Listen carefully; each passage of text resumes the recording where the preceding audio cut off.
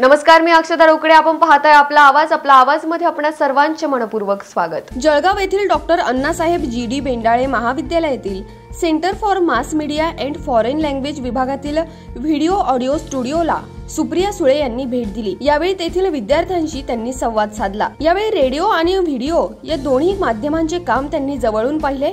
हा एक समृद्ध करणारा अनुभव होता.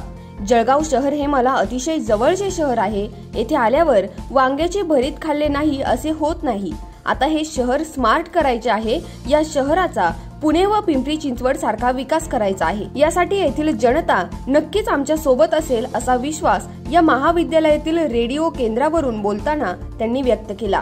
महाविद्यालयातील शिक्षक विद्यार्थी राष्ट्रवादी काँग्रेस पक्षाचे पदाधिकारी व कार्यकर्ते यावेळी उपस्थित होते.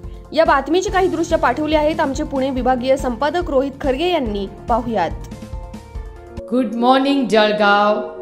आज मी पार्थ बरोबर या रेडिओ स्टेशनवर तुमच्याशी बोलते आहे जळगाव म्हणलं की नेहमी इथली केळी इथलं चांगलं शिक्षण हे माझ्या मनात येतं. मला जळगावचा सार्थ अभिमान आहे. आणि इथे आले की कृष्णामध्ये गेल्याशिवाय मला जळगावला आल्यासारखं वाटत नाही.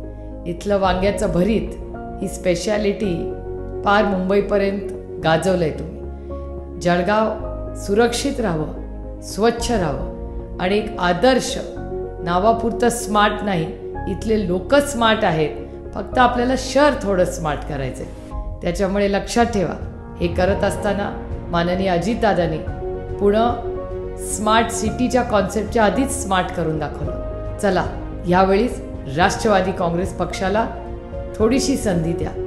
जळगावचं सोनं केल्याशिवाय आमचा कुठलाही पदाधिकारी स्वस्त बसणार नाही.